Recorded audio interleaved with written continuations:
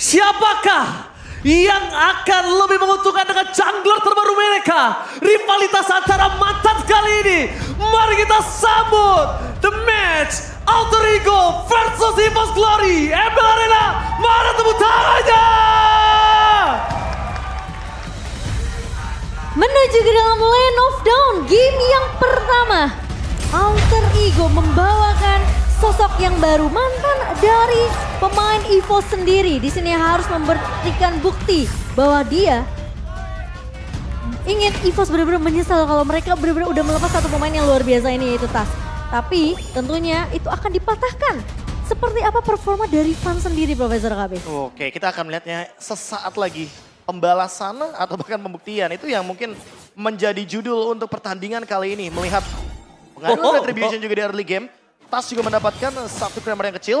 Sehingga Fire Battle yang tentunya akan sangat-sangat diperebutkan ini akan sedikit mendorong leveling yang ingin didapatkan oleh Tas versus Van. Early game yang cukup galak dari Tas dengan gerakan setelah dia mendapatkan Little Wanderer. Early game yang cukup sedikit pasif terlihat dari kedua tim yang tidak ingin melakukan kesalahan sama sekali.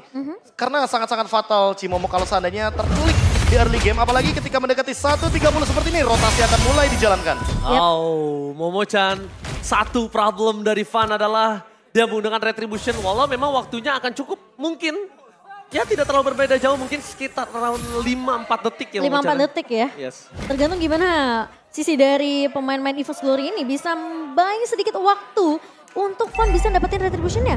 Sementara pergerakan dari Alter Ego yang tadi kita udah bahas, sebenarnya mereka main agak sedikit lebih galak be di early-nya.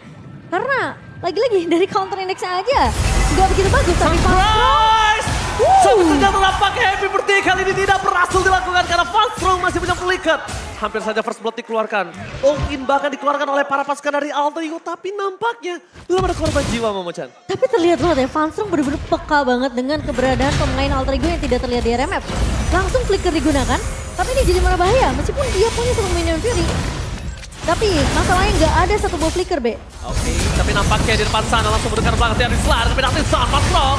Oh my god, out of nowhere, Strong. Take over satu. Walaupun begitu, first blood masih didapatkan oleh para pasukan dari tim Alter Ego. Mendengar belakang Rasi masih bisa bertahan. Van, sekaratul maut. Posisi saat ini memang diuntungkan oleh Alter Ego. Lihat dengan kondisi gold.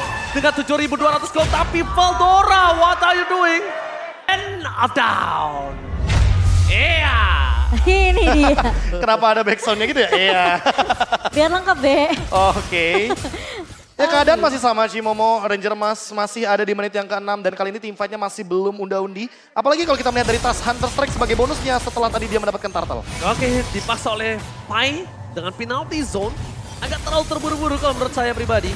Cuma mungkin ini adalah kalkulasi yang cukup tepat melihat uh, permainan dari Pai yang akan coba untuk reset kembali. Tapi Oh, lihat Tas. Tas, ini dia agresifnya dituju. Warlord karena depan bahkan Richard mendapatkan satu poin kill. Meanwhile depan sana Pai juga terperangkap. Pas strong, Milan Furinya for nothing. Sprayet harus mundur ke arah belakang. Damage-nya masih belum cukup untuk menuju ke arah Nino. Lihat, agresivitas dikejar habis-habisan. Disingkat sampai turut pertamanya Profesor. Itu agresivitas yang mungkin dulu pernah ditunjukkan Alter Ego. Ya bisa dibilang ini adalah sebuah perkenalan yang cukup manis. Ah, got the lane up down. Alright. Kali ini kita akan masuk ke dalam yang sudah kita lihat. Kalau dalam kondisi saat ini, EVOS Glory yang tidak diuntungkan Momochan. Iya, lagi berada di posisi yang cukup terjepit. Dan bahkan di area mid-nya dipaksa dipukul mundur. Pergerakan dari pemain-pemain Alter Ego ini udah lumayan terlihat galak nih, Be. Di semenjak menit yang ke-6 tadi ya. Ya dan aku lihat Van cukup lumpuh dengan perbedaan 3 level barrel retribution. Yang tentu akan membuat nantinya dari segi Lord akan lebih mudah didapatkan bagi Alter Ego. Apalagi mereka membawa banyak banget damage dealer. Tas sendiri sebagai jungler tentunya memiliki damage deal yang sangat amat tinggi. Apalagi dipandu dengan lethal ignition. Connecting banget dengan Rapture, penetration tinggi, damage tinggi, instant burst down. Sementara itu kalau kita lihat dari Nino, dia memilih ke arah Inspire dan juga Festival of Blood. Tentunya sustainability yang dia utamakan karena match up lawannya adalah single target seperti Kari dari Super Red. Hanya saja Super Red sampai saat ini belum tumbang. Veldora juga begitu. Mungkin dua pemain ini yang ingin dipersiapkan sama EVOS Glory ketika sudah mulai beranjak ke mid game. Namun perlu dicatat bahwa Nino mid game itu benar-benar punya power spike yang tinggi banget sebagai Harit. Iya. Ini yang perlu diperhatikan. Apalagi selesai dengan Holy Crystal. Wah, Lengkap sudah untuk magic powernya. 35%? Dan ini menurutku harus Diperhatikan untuk item defense magicnya Athena Shield akan menjadi salah satu item penyelamat dan Super Red kayaknya lebih membutuhkan Rose Gold Meteor juga. Terus dia juga bawa Impurage kan B untuk Nino sendiri. Aha. Jadi ini tentunya damage akan semakin lebih sakit lagi dengan bantuan Holy Crystal yang sudah didapatkan di menit yang 10 ini. Oke, tapi ngomong-ngomongin di menit yang ke-10 saat ini, kita lihat udah ada Lord yang telah muncul. Kondisi yang terjadi adalah dengan ketertinggalan dari segi fun. Dengan tas cukup jauh, 4 level difference. Ini udah pasti Retribution akan kalah. Dan item apalagi. Jadi bisa kita lihat EVOS Glory cuma bisa tinggal menunggu di arah base-nya. Kalau dia mencoba untuk melakukan kontes itu bukan sosok keputusan yang baik kalau menurut gue pribadi. Kalau Iya. kalau aku sih malah melihat Alter Ego lebih agak sedikit nyekek EVOS Glory ya Kayaknya di game kali ini. lebih Mereka- dipaksa nggak sih? Iya dan lihat bahkan lagi-lagi perkenalan terhadap tas untuk Warlord terjadi kembali di area mid lane sampai di dive in dengan asal ignition. Yes, ini dia agresivitas yang kita lihat yang akhirnya bisa keluar dari intisari Alter Ego dengan gold difference hingga 7400 Mama Chan. Itu dua hit loh. Emang kalau kita ngeliat juga perbedaan level yang cukup jauh ya. Tas udah udah max level di level yang ke-15. Warlord tertinggal kali ini 5 level.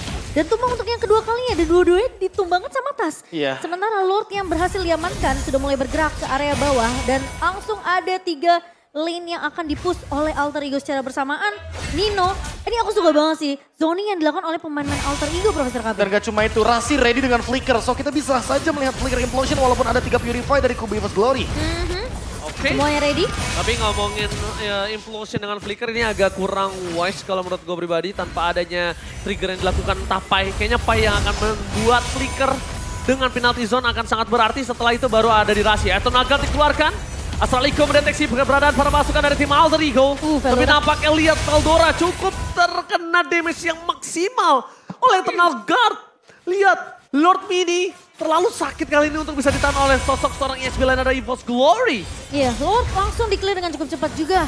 Memang kita melihat juga dari sisi tim EVOS Glory. Mereka tidak terpancing untuk ngebuka tim fight terlebih dahulu. Mereka tahu banyak banget sisi dari pemain-pemain Alter Ego ini bisa memancing Purify dan Baik. bahkan semua antisi yang dimiliki oleh EVOS. Pai sudah standby on position. Tapi kalau ngomongin Pai kali ini kayak dia akan lebih memilih untuk objektivitas. Dan bahkan di sana para pasukan dari tim Bos Glory mereka cukup berbahaya melihat langsung ada tenaga mundur ke arah belakang. Para pasukan dari tim EVOS Glory dan ternyata ada talent prediction. Alter Ego berada di hampir 5 talent. Eh sorry, 4 talent. Iya, Eh, sorry, hampir. tiga, tiga, tiga. Tiga, tiga, tiga, tiga, tiga. tiga. Mata gue minus nih kayaknya harus dicek ya. Dan sementara Alter Ego masih dengan tempo yang cukup pelan. Mereka Oke. tahu Astral Eco akan terus-terusan dibuka oleh Warlord untuk memberikan slow effect dan bahkan informasi ke arah pemain-pemain dari EVOS Glory. Kayaknya seakan-akan Alter Ego mereka nggak mau memaksa tiba di areal uh, base dari EVOS Glory, Profesor. Iya, mereka nggak mau ngelepasin pressure-nya. Mereka udah dapetin winning condition-nya 10.000 gold difference. Mhm. Ini adalah perbedaan gold yang sangat signifikan. Sekali aja Alter Ego dapetin Lord, mereka bisa tabrak secara asal teman-teman dari EVOS Glory. Termasuk dengan perbedaan dari segi Wow. item. Lihat, Wah, sangat jauh banget. sangat terpaut jauh. Kita bandingkan sedikit dari segi junglernya aja. Ini 4.000. benar-benar 4.000 gold yang dipegang sama tas. Fun terlalu under condition, apalagi dia membawakan Martis. Yang notabene dia adalah utility jungler. Apalagi patch baru, minion lebih super power. Wow. Sehingga mid lane, bottom lane dari EVOS Glory sepertinya agak sedikit pincang.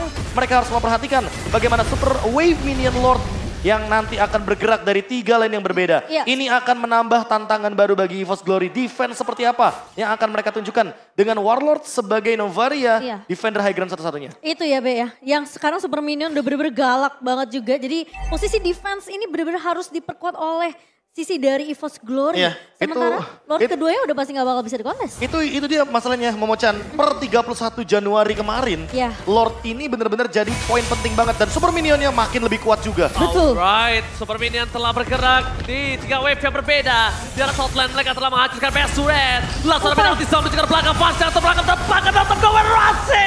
Gagal dengan second hammer yang Fast ke arah full mouth. Veldora dipukul ke arah belakang. Van Hill di depan sana. Fast Roll juga harus tenggelam. Ini pencara. Alter Ego membuka debut dengan kemenangan. One-sided Israel. Alter Ego. Pembuktiannya apakah memang nanti akan berlanjut sampai di game yang kedua karena kita melihat di game pertama ini bener-bener rapi banget untuk Alter Ego sendiri. Terlihat Wow. mereka bener-bener menunjukkan tarik mereka meskipun kita melihat ya di 5 menit pertama belum terlihat karakteristiknya tapi menuju menit ke 5 ke atas ini Tas bener-bener sudah menyeramkan banget sih Profesor KP. Ternyata kali ini pembuktian mulai dilakukan tas sedikit demi sedikit. Dan bahkan para pasukan dari Alter Ego mereka melakukan